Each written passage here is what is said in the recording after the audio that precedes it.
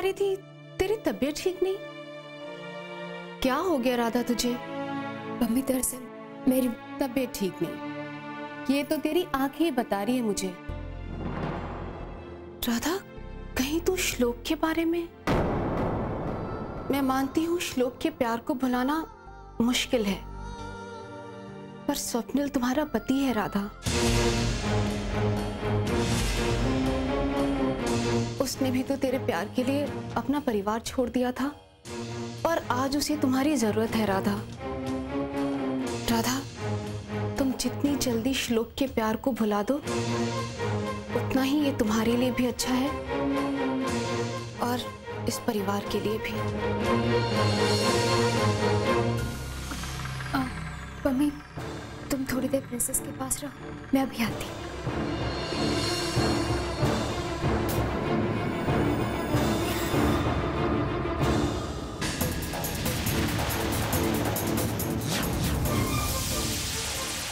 तो पापा के कमरे में चला गया। अब क्या करूँ? श्लोक को पता चल जाएगा कि मैं झूठ बोल रही थी। बाबा तबीयत कैसी है आपकी? मैं बिल्कुल ठीक हूँ बेटा। पापा को तो कुछ नहीं हुआ। फिर राधा ने मुझसे झूठ क्यों बोला?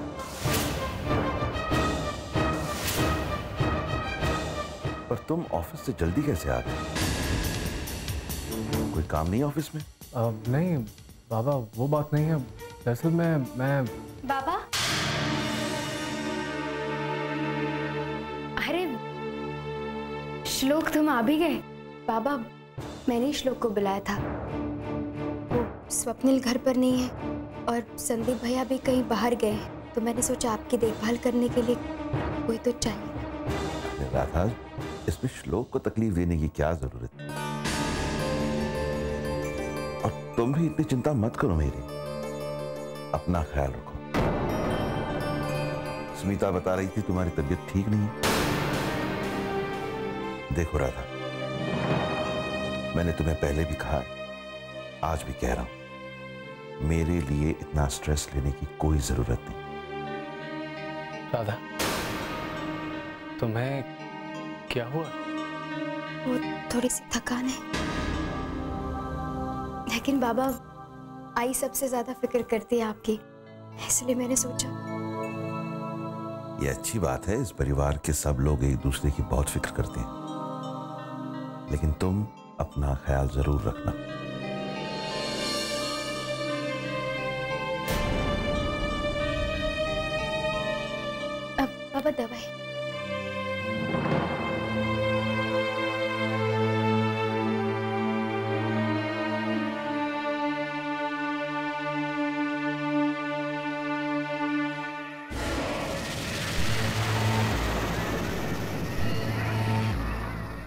स्मार्ट मूव रहा।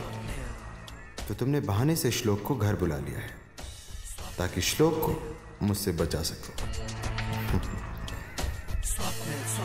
अब आएगा मज़ा खेल में।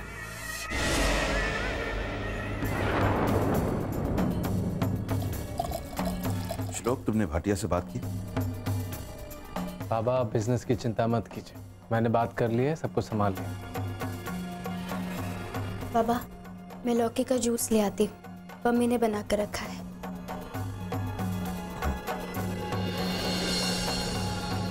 बहाने से मुझे घर बुलाने की क्या वजह हो सकती है?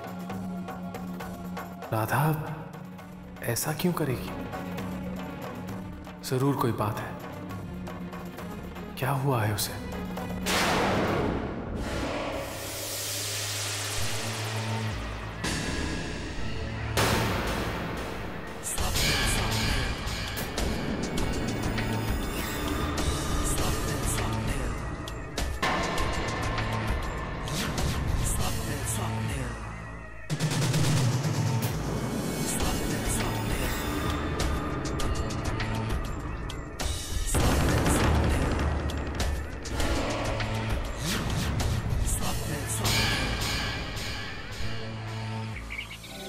मंदिरा अच्छा हुआ तुमने अविनाश के लिए व्रत रखा। वो भी बिना अन्न और बिना जल को ग्रहण किए हुए। आई अविनाश मेरे पति हैं। और अगर ऐसा करने से उनकी और इस परिवार की मुश्किलें खत्म होती हैं तो मैं एक व्रत तो क्या कई व्रत रख सकती हूँ। भाई व्रत तो मेघना ने भी रखा है। अब तुम लोग देखना इस घर का भला होगा ही होगा।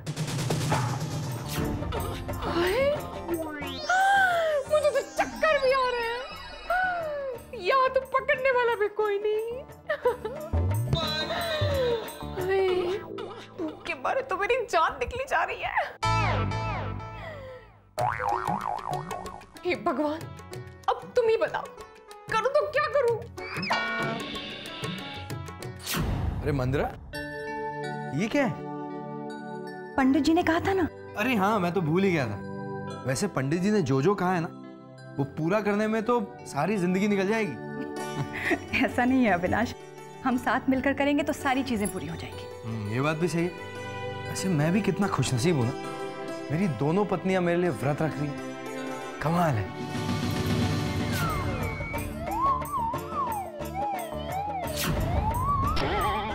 पंडित की तो ऐसी की तैसी। मेघना क्या दिमाग पाया है तुमने? व्रत भी नहीं टूटा और तुम भूखी भी नहीं रही।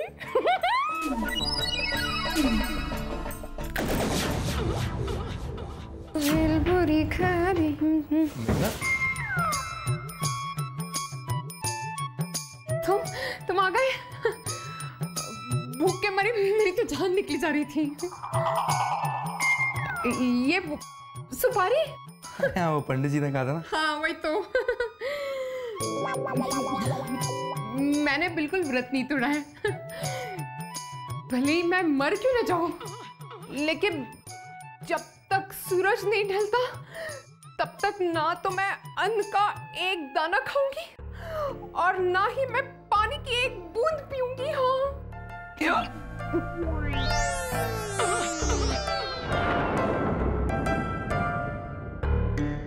देखा देखा खाली पेट के डकार। मुझे यकीन नहीं हो रहा है मेघना कि तुम इतनी बदल गई हो। हाँ वही तो वो तो तुम्हारी वजह से। सच अविनाश सिर्फ़ तुम्हारे प्यार की वजह से।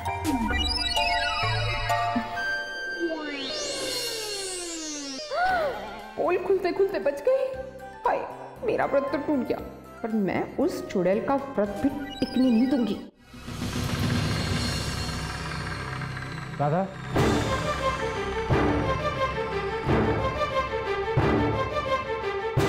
राधा शायद किचन में हाय श्लोक अरे आरती और अ प्लेजेंट सरप्राइज़ तुम यहाँ कैसे? अरे तुम्ही ने तो कहा था कि घर पर आते रहा करो तो इसलिए मैं आ गई। एक्चुअली आई और मैं शॉपिंग गए थे और मुझे तुमसे बात करनी थी इसलिए आई घर चले गई और मैं यहाँ आ गई। अरे आई को भी साथ लाना था? कहा ना मुझे तुमसे बात करनी थी अब आई के सामने थोड़ा ना कर सकती हूँ। ऐसी क्या बात थी? मैं तुम्हारे लिए कुछ लाई हूँ।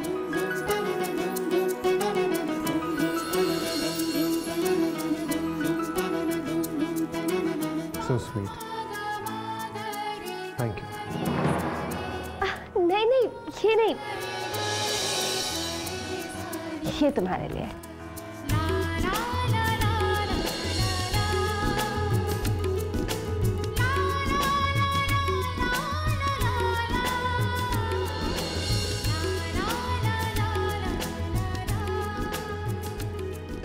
कॉफ़ी मग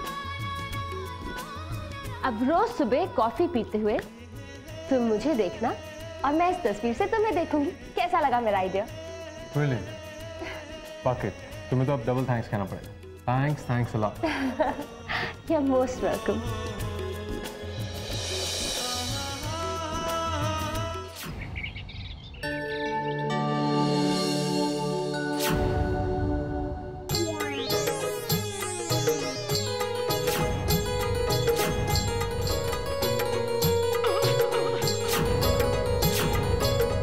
वाह मेघना, चल जल्दी।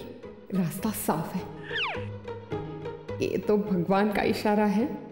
चुरा ले उसकी सुपारी और तोड़ दे उस चुड़ैल का व्रत।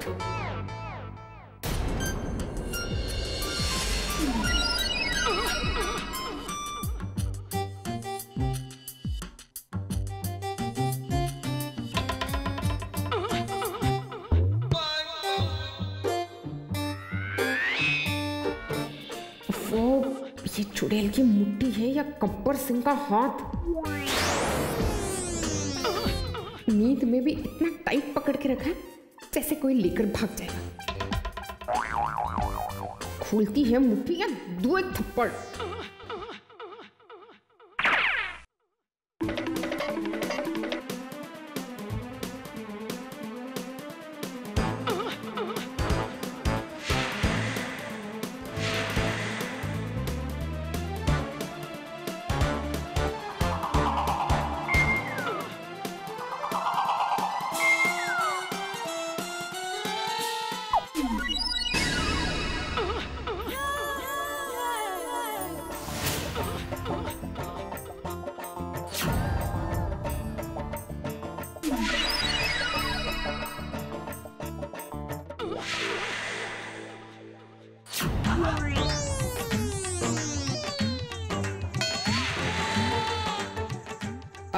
आएगा मज़ा चुड़ैल करेगी तीन उपवास और मैं मैं बनूँगी आदर्श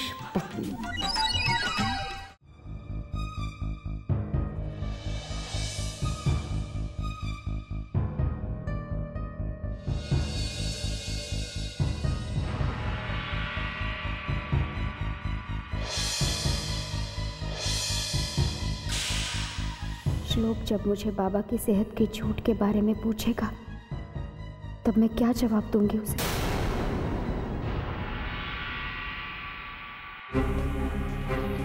राधा।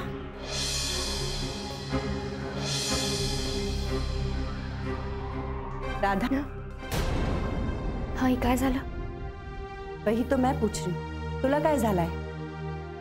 देखो राधा इतना मत सोचो वरना सुबह की तरह नहीं नहीं। ऐसा कुछ नहीं। आई राधा मैं आपकी मदद करूँ? इसमें पूछने की क्या बात है? करो।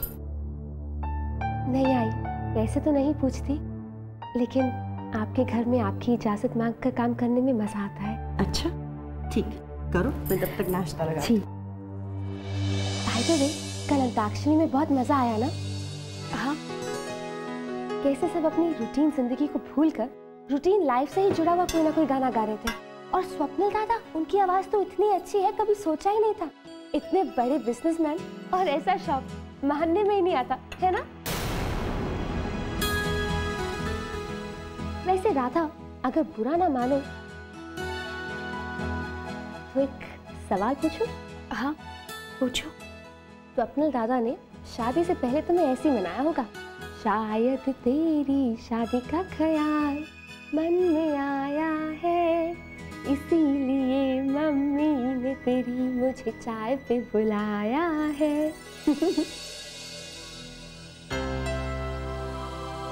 राधा तुम्हारी देवरानी तुम्हारी खिंचाई कर रही है। मैं चाय देकर आती हूँ आई आपने तो चाय डाली ही नहीं। ओहो पता नहीं मुझे भी क्या हो गया। आई इस कप में श्लोक को चाय मैं देकर आऊँ। हम्म।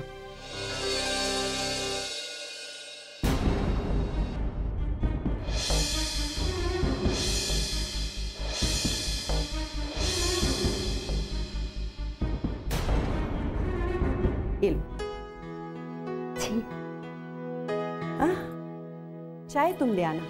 भर तो मैं सकती हूँ।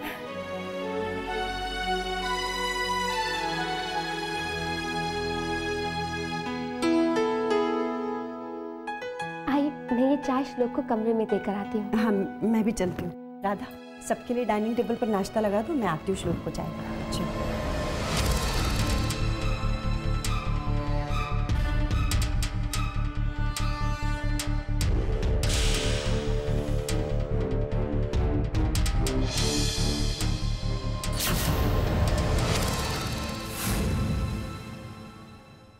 राधा। मज़ा आया ना तुम्हें? अंताक्षरी के खेल में? इस अंताक्षरी के खेल में मेरे इशारे छुपे थे राधा। और मुझे उम्मीद है कि तुम बहुत समझदार हो।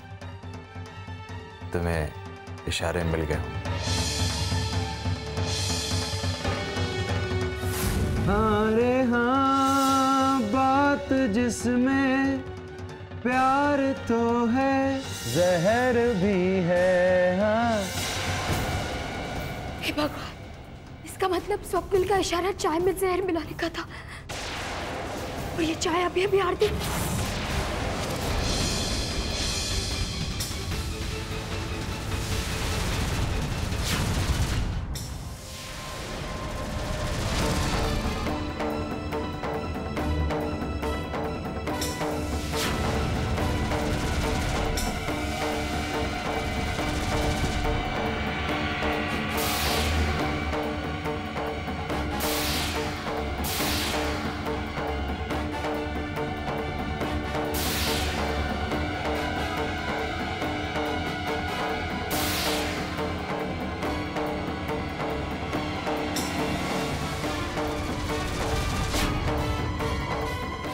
राधा ऐसे क्यों भाग रही थी?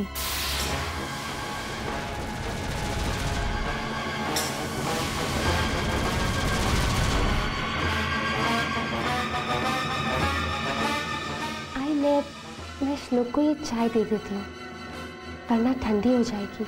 हाँ दे दो। अब मैं मना करूँगी तो तुम मानोगी तो नहीं है ना? जाओ दे दो।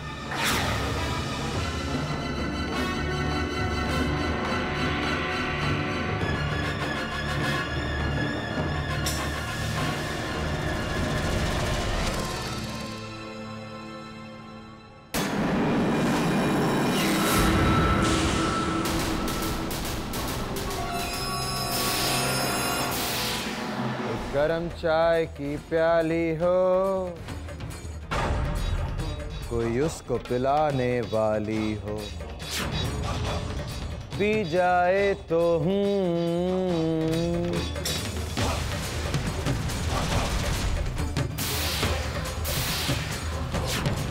अरे राधा, तुम? तुम्हें तो मैंने देखा ही नहीं। तुम कब? हाँ मैंने आरती को ज़रूर देखा। चाय का प्याला श्लोक के कमरे में ले जाते हो।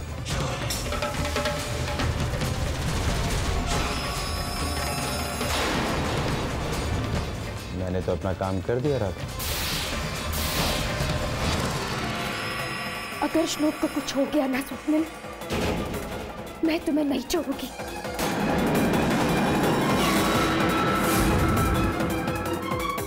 रिलैक्स मुझे तुम्हें छोड़ने की ज़रूरत नहीं।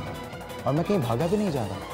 तुम्हारे पास लेकिन अभी श्लोक को बचा। क्योंकि मैंने श्लोक के लिए क्या मस्त जहर वाली चाय भेजी। इससे पहले कि श्लोक वो जहर वाली चाय पी जाए। भागो!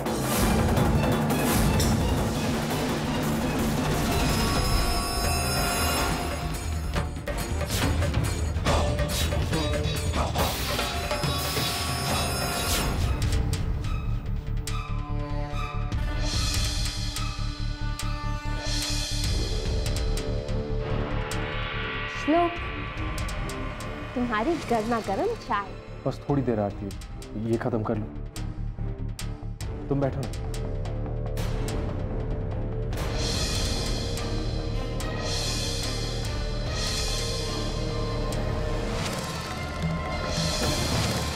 श्लोक चाय ठंडी हो जाएगी पी लो ना।